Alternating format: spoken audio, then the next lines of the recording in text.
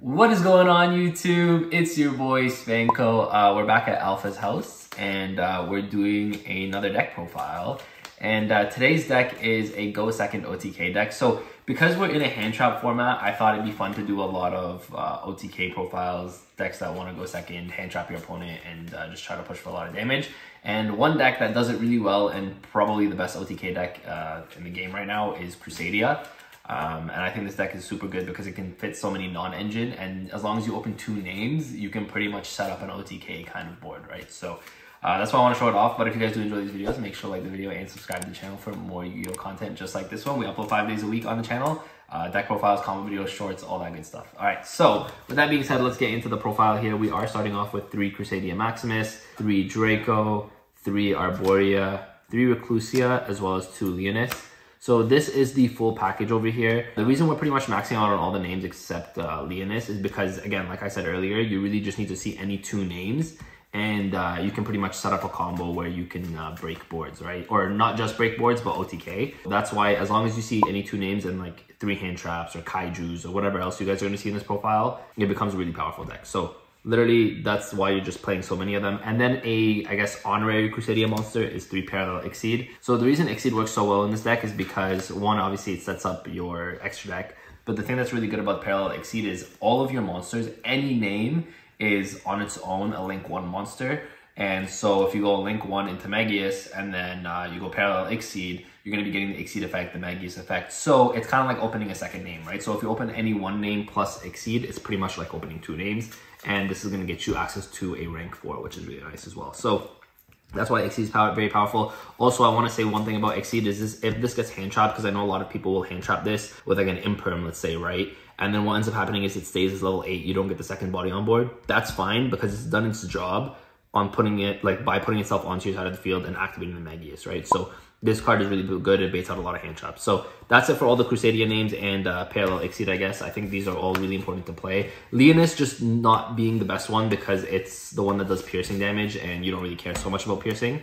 So that's why I'm only playing two Leonis. And then for the Crusadia spells, we're just playing one Revival, one Power, and one Testament. I just like playing one of each. Uh, basically, if you see one, you search the other in your combo. Um, you don't ever need all, like all three of these to combo. You just need like one. Like this is really the best one to help you OTK. Uh, these two are pretty good. This is not bad if you're not OTKing. You can set up a uh, play where essentially you're drawing a bunch of cards. And then power is really good because it makes sure that all your Crusadia effects go through. Uh, power also has a really cool effect that synergizes really well with Reclusia. I can actually say it here real quick.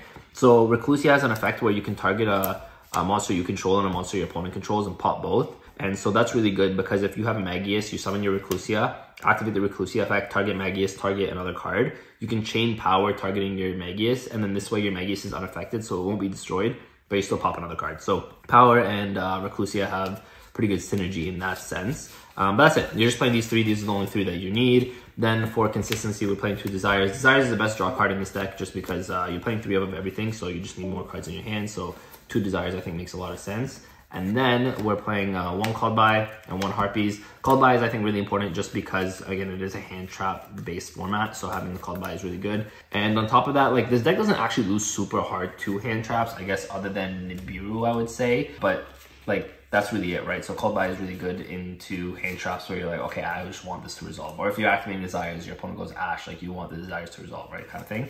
And then Harpies, of course, we don't have a lot of back row hate in the main deck, so Harpies uh, is the back row hate that you're going to be playing in the main deck. Then, um, so this deck does something really different than most decks that want to go second. So first thing, you're playing six Kaijus. You want to be able to break boards and putting a Kaiju on your opponent's side of the field. First of all, these are just really good in today's format, right? Because if you're putting a Kaiju onto your opponent's side of the field and then you're summoning your um, Equimax, right?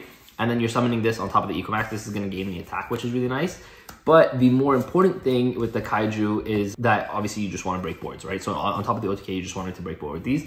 And a lot of decks, when you want to go second, right, you want to either break boards or you want to stop your opponent from making boards. A deck like this one, funny enough, wants to do both. Now, it might not make a lot of sense, but the reason you want to do that is because you really don't want your opponent to go put four negates up on the board. I know Super Heavy Samurai puts up like Savage plus Baron uh, plus Apo sometimes. Um, plus a Regulus, right? So you don't want your opponent, like one Kaiju is not going to break that board, right? Unfortunately. So for that reason, what you want to do is you want to play the board breakers so that if your opponent puts up like a single boss monster or a single like an Omni Negate, um, you can break that and then you can proceed to OTK, right? So for this deck, we're playing the Kaijus to be able to break those kind of boards, but then we're playing a ton of hand traps so that our opponent doesn't necessarily have the option and the opportunity to make those kind of boards, if that makes sense. So essentially, you're playing nine hand traps here, and you're playing the six board breakers. You you you go with these hand traps like Ash, Ogre, Droll is gonna like oh, super heavy samurai can't really play through Droll. They can put up maybe a one negate through Droll, right?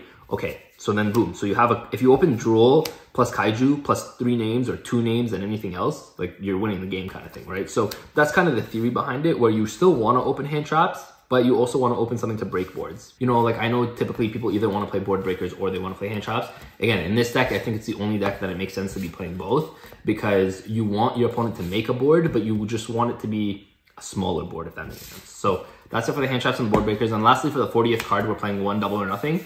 This is my Crusadia spicy tech that I've been really, really enjoying. It's really easy to make rank fours in this uh, deck. And again, it's one of those things where if you are putting up like a Kaiju on your opponent's side of the field and you can't get to Equimax or your opponent hand traps you and you just have two level four monsters on the board, um, you just go to Utopia double package and you're just OTKing with that, right? So it's just another OTK package that this deck can play and it just, it's, it's really powerful. So that's it for the 40th card right over here. It's 40 cards in the main. Uh, moving on to the extra deck real quick, actually. We're just going to start, I guess, with the OTK package over here. So one Utopia double, one Utopia. Again, that's for the double or nothing. You, of course, want to play those.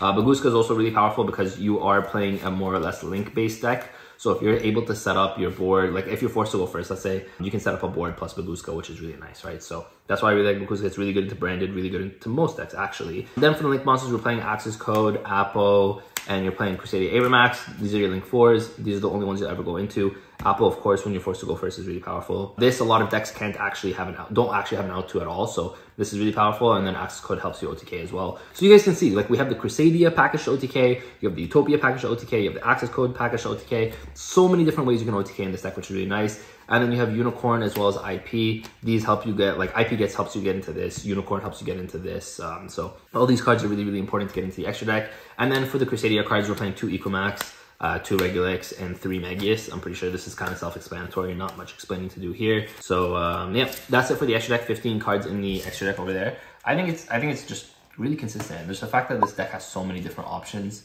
um, to go second and still be able to OTK is, is really, really important. So with that being said, let me show you guys a quick side deck here.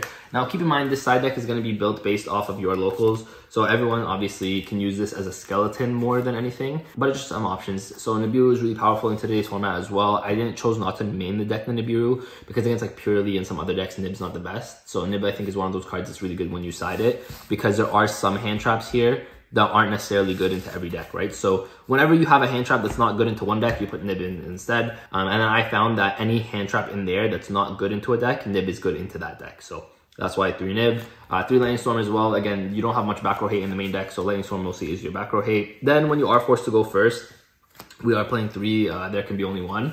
Uh, so funny enough, there can only be one works super well in this deck because all of the monsters are different um, types. So if you're forced to go first, you can just go if there can only be one, set up like a quick board, and then boom, you have that on the board, which is really nice. Three anti-spell, I, I actually was gonna, so I was between this and um, Dimensional Barrier. Uh, you guys can play anti-spell, you guys can play Dimensional Barrier. I chose anti-spell, I just feel like post-CYAC, uh, anti-spell is gonna be really, really important. But yeah, D-Barrier is really good as well into something like Branded and whatnot. So it's kind of really up to you how you guys wanna go about it, but I just like three anti-spell. And then lastly, I'm playing three Judgment. Again, when you're forced to go first, you have nine cards here that you can go first. You can side out nine hand traps. And then this way you're able to set up like kind of quick boards. Like if you're able to set up boards like IP um, plus like any link to, like a lot of the time you can end on like a board like this. And then like, you know, with any back row setup, and then depending on the deck that you're playing against, IP and Regulex can make like your Avramax, and then a lot of decks can't out the Avramax. Um, or if you have IP plus another monster, you go into Unicorn and then try to go to access code for your turn to win, which is really nice. So you guys can see like, if you look at the at types here, and this is why it works so well with there can only be one,